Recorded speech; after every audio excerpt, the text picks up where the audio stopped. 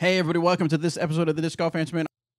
Hi guys, this is Julie from Australia, aka Stuff Ups. Just ignore those if you've heard them, but anyhow, um, I'm playing the Threado tournament in the next couple of weeks and I'm participating in practice round.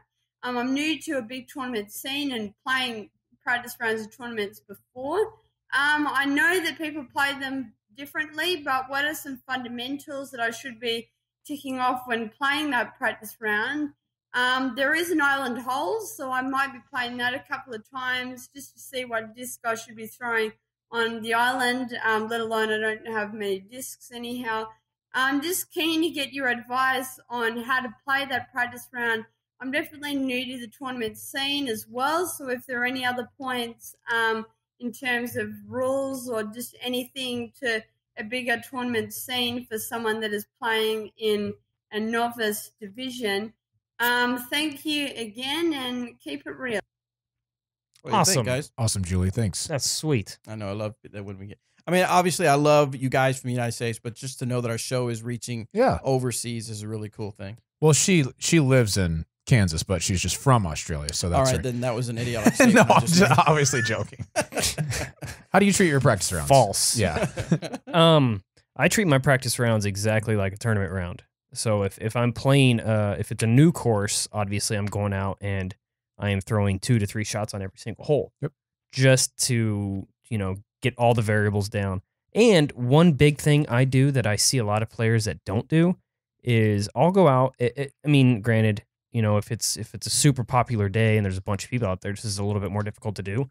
But I like to throw three to four tee shots on every single hole. And instead of picking up the bad shots and playing all the good ones, I play from every bad shot I got.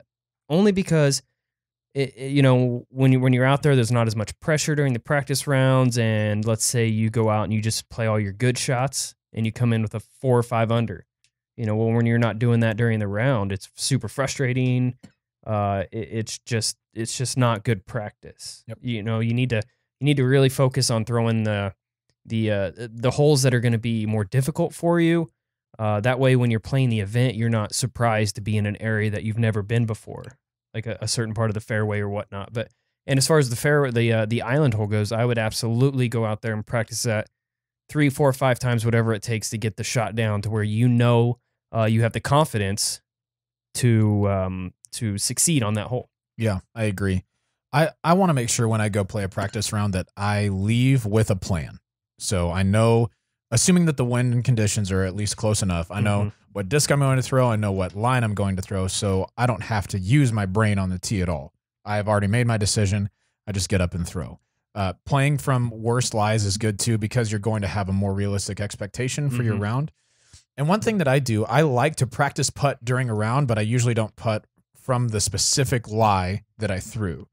And the reason for that is I don't want to go back through the round mentally and total up, oh, okay, well, I shot, you know, four or five under. Um, because then I have that expectation Mhm. for the next day. And then if you get off track of that, you're like, oh man, maybe I need to push a little bit Mhm. to get a couple birdies that I wasn't planning on trying to get in the first place. I don't like to do that. I don't want to think of a number I want to shoot before a round. I just want to go and focus on the shot in front of me. And so when I'm doing practice rounds, that's what I like to do. Make sure that I've got a plan and don't keep score. Yeah, and also while you're at the you know each hole, throw a few more extra putts. Just throw Yeah, like yeah. five or six, ten putts from each on each hole, Make sure your putt feels good. different areas. That way, you by the end of the day, you've got a, a great amount of putting practice done during your mm, round. I like it.